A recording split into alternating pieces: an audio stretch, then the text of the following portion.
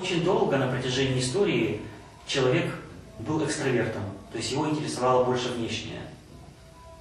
Надо стать интровертом, надо обратиться внутрь себя. Не случайно сейчас э, в научном мире очень много открытий, что происходит в психике, что происходит в сознании.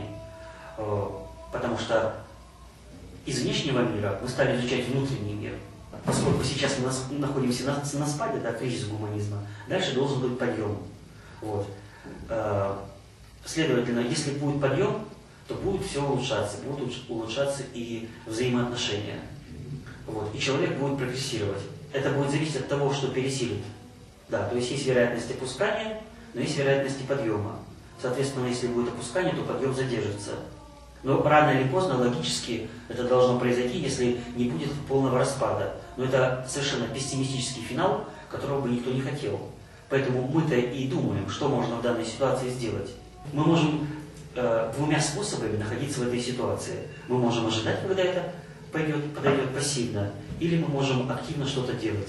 То есть мы можем работать над собой, мы можем улучшать себя, пообщаться нелинейно. Мы сейчас попробуем это произвести.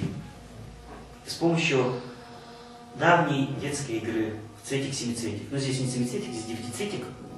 Вот, для того, чтобы... Многоцветик. Многоцветик, да, так будем называть. Цветик-многоцветик. А, для того, чтобы были разные возможности. Значит, в чем заключается суть?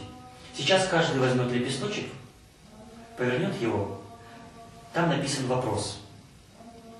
Нужно будет узнать ответ на этот вопрос со стороны собеседника. Но тот вопрос, который написан, нельзя озвучивать. Когда мы закончим это общение, вы должны будете озвучить этот вопрос и сказать, получили ли вы на него ответ со стороны вашего собеседника.